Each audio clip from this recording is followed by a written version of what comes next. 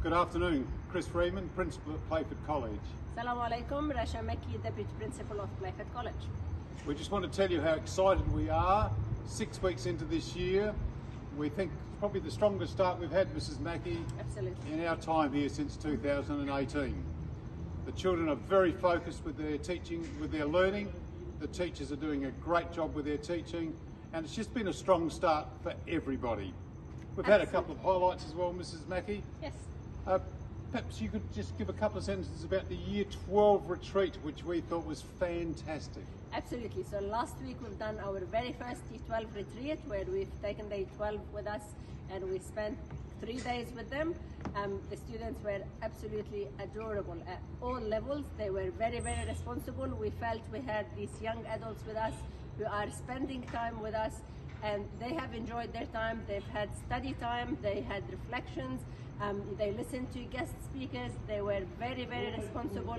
I would say it was a very successful retreat, and that's exactly what they've told us as well, Mr. Freeman. Absolutely. I would say it's one of the highlights of my time at the college, Mrs. Mackey. Definitely. Now you may be wondering why we're taking our video with this as our background. We're in the process of erecting a marquee and that's for the opening tomorrow morning at 10 o'clock for the Imam Ali building. We're very excited with the Imam Ali building. Our students are giving us great feedback as are, are our staff. And tomorrow we've got about 60 special guests coming, Mrs. Mackey, that have accepted our invitation.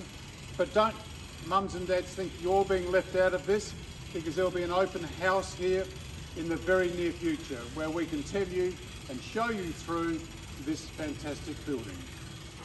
So for tomorrow, the program has been prepared. There will be a lot of guests, as Mr. Freeman mentioned, and our school leaders will be definitely school captains and vice captains.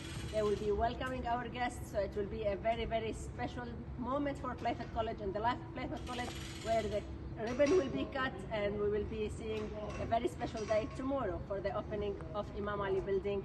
And we do have the sports court that our students are enjoying playing on every single day. So that was our little update for this afternoon. We wanted to keep it short, but we just wanted to let you know that Playford College is in really good shape.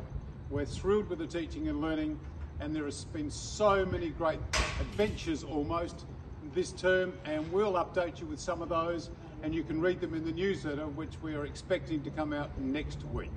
Best start since 2018. Salam alaikum. Good afternoon.